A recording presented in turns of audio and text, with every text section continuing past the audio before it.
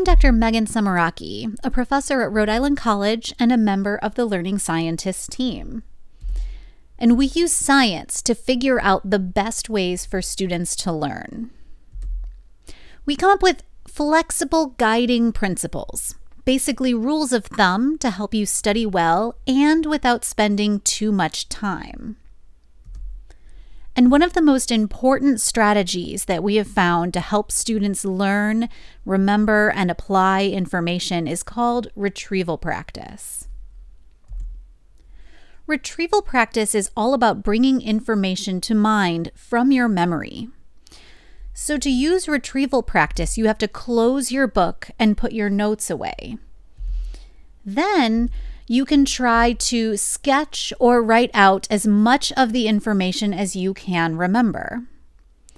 Once you've written everything out or drawn everything that you can, you can open the book and check to make sure that you got everything right, see what you need to work on more.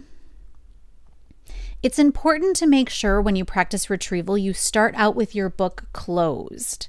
If you're repeatedly reading your book or your notes, they serve as a sort of crutch. When you do that, you just don't learn as much. This is really hard to do. Retrieval practice is difficult, but it's one of the most effective study strategies that we know of. It helps you learn and remember things in the long run so that it's durable, long term learning that you're engaging in. One way that students often like to engage in retrieval practice is by using flashcards. And flashcards can be great, but you just have to make sure that you don't flip the card too early. If you make flashcards, make sure that when you're looking at the prompt or the question on one side, you retrieve the information from your memory. Then you can look at the other side to see if you were correct. And remember, retrieval practice is not just about memorizing terms and definitions. It's also really good for helping you learn and understand complex information. So try to write out what you can remember, come up with your own examples, go beyond just memorizing the terms and definitions. Really try to put the information into your own words and practice applying it.